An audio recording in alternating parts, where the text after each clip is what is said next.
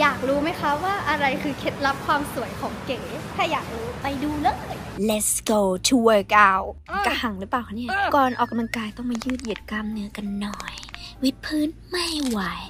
ดัมเบลก็พอได้ แต่ว่าบ้านท้ายเนี่ยต้องว่าเตะคนดีกว่าเอ้ย เตะกระสอบดีกว่าอะซึ่งอยากเตะกันคอ เอ้ยไม่ใช่ท่านเนี้ยได้หน้าท้องเอ้ยเอ้ย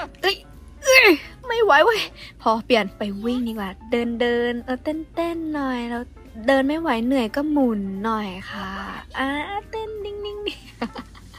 เฮ้ยหนุกหนานหนุกหนานแฮปปี้หมุนนี่คือรันเวย์ของเราเคล็ดลับต่อไป ดื่มกลูตา next by ดรกังนำนะคะ สดชื่น เพราะว่าดื่มทุกวัน เสร็จแล้วไปว่ายน้ำกันดีกว่า แต่ว่าน้ำมันหนาวอะขอว่ายแบบนี้แทนได้ปะอืมว่ายหยอกหยอกหยอกอืมเคยเห็นลูกแมวตกน้ำอุ้ยลูกหมาตกน้ำไหมคะอืมวิวสวยจังเลย แล้วก็ผิวก็สวยอ่าขออีกหน่อย ชุ่มกระชวยหัวใจอ่า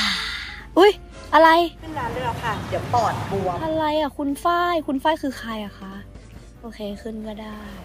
พี่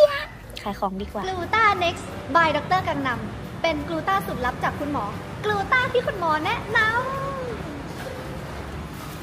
ดื่มแล้วชมชมแล้วดื่มดื่มแล้วชม